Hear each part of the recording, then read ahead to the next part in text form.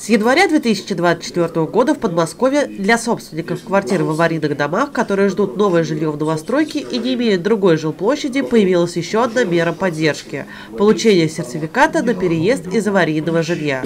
Детали нововведения обсудили в администрации округа. Генеральный директор дирекции заказчика капитального строительства Никита Никулин и глава округа Дмитрий Акулов провели совещание с сотрудниками администрации, депутатами и МБУ развития. После того, как человек написал заявление, решение его вопросов может э, закончиться ну, в его сторону, в сторону жителей буквально в течение двух-трех месяцев. То есть э, можно, конечно, ждать э, того дома, который э, строится, да, или когда-то построится. Вот, но эта мера, она позволяет уже решить вопрос в ближайшее время.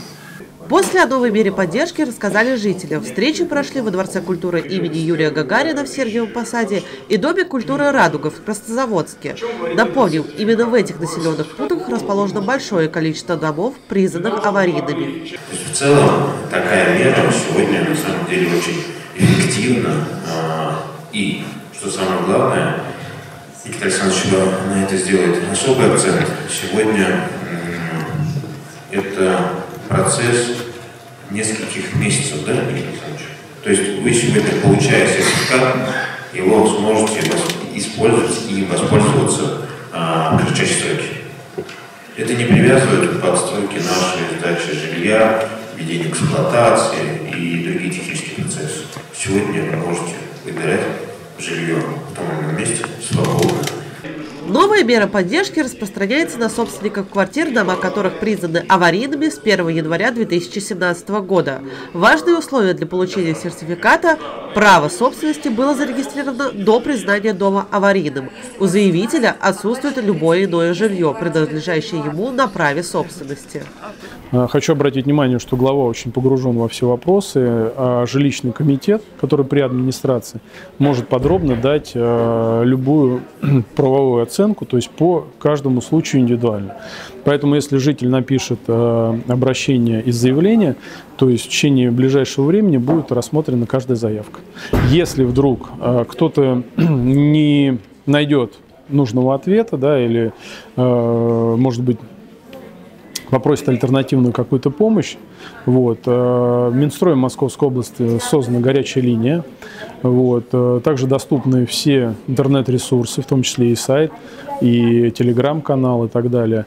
Использовать жилищный сертификат можно на покупку комнаты, квартиры или жилого дома, а также при заключении договора долевого участия и договора подряда на строительство дома в качестве первоначального взноса или основного долга по ипотеке.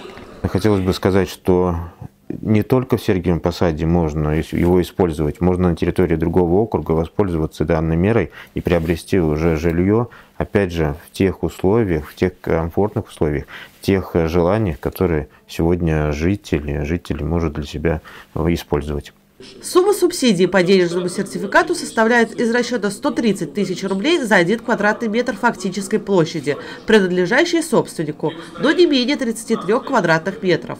Заявление на получение жилищного сертификата принимается до 1 апреля 2024 года. Подать его можно в отдел по переселению граждан из аварийного жилищного фонда администрации Сергиево-Посадского округа, кабинет 214. Приемные дни с понедельника по пятницу с 10 утра до 5 вечера, с часу до двух обед. Телефон для справок 8 496 551 51 84. Также для удобства граждан работает горячая линия Министерства строительства Московской области по вопросам расселения из аварийного жилья 8 926 611 93 33. Дарья Леонова, Антон Коврижных, ТВР 24.